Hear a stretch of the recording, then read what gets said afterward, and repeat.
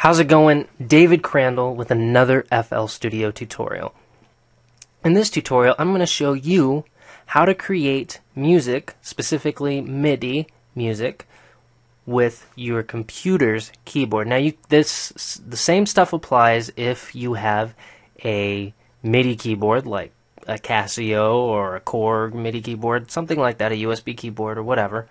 Um, but I'm going to be using my computer's keyboard. Now, to enable this, you have to make sure that this typing keyboard to piano button is selected. What this does is it allows you to play MIDI instruments using your computer. So I'll go ahead and select this kick drum. If I hit something, see I'm hitting the B key on my keyboard.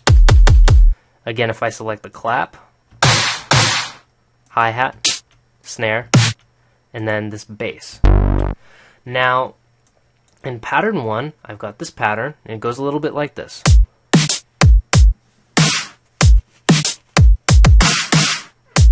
Okay, so I've got that pattern on my playlist repeating five times.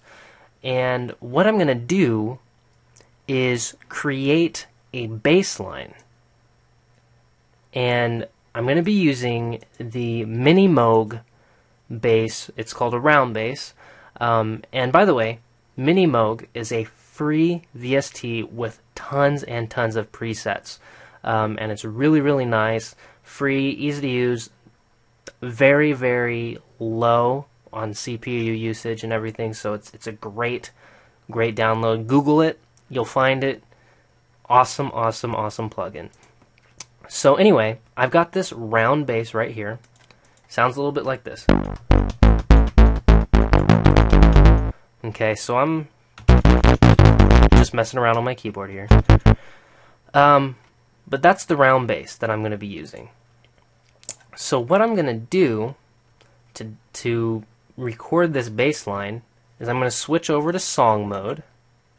I'm going to go to pattern 2 and I'm going to right click on the record button and make sure that score is selected. Now what this does is it records everything that I play on the keyboard and puts it on the piano roll. So I'm going to go ahead and pull up my playlist. I'm going to hit the record button and I'm going to record a little bass line.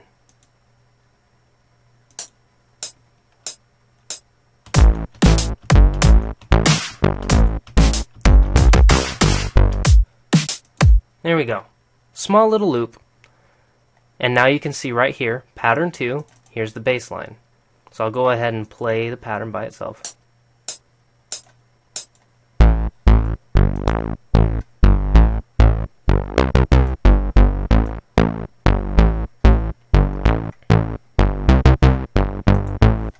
And that's it. Now, there are some timing issues. I'll go ahead and play play it with the drum beat and you'll be able to hear it.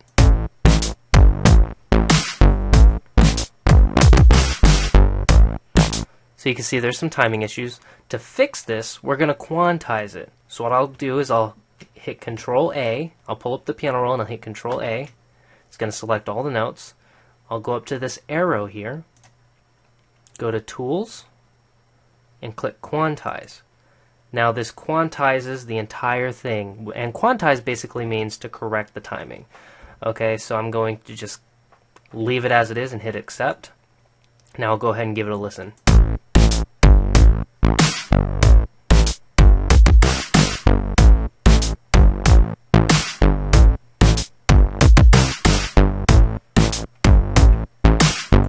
Now from here I can actually go ahead and tweak some things like the length of some of these notes. Um, like this note here I feel like it should be a little bit longer.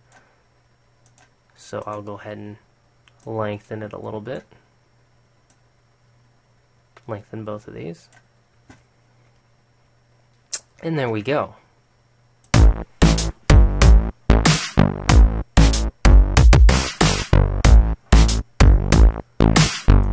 Very, very simple.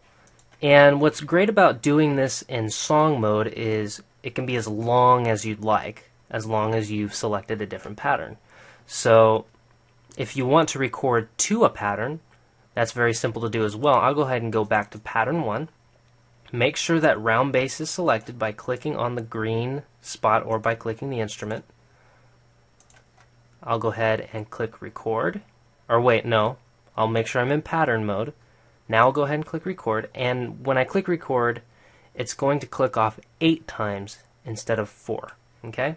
So here we go. One, two, three, four, five, six, seven, eight.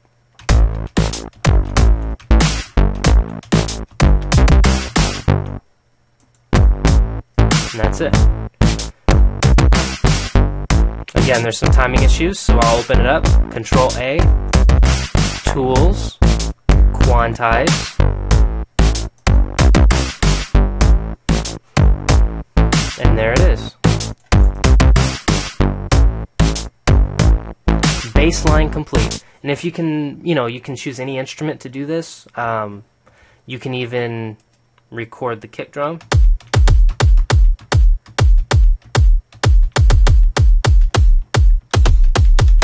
You can record the clap.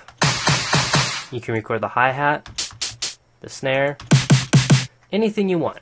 And that's all there is to it. Alright, my name is David Crandall. This concludes this FL Studio tutorial. I hope that helps you. It's not too confusing. If you have any questions, leave a comment below.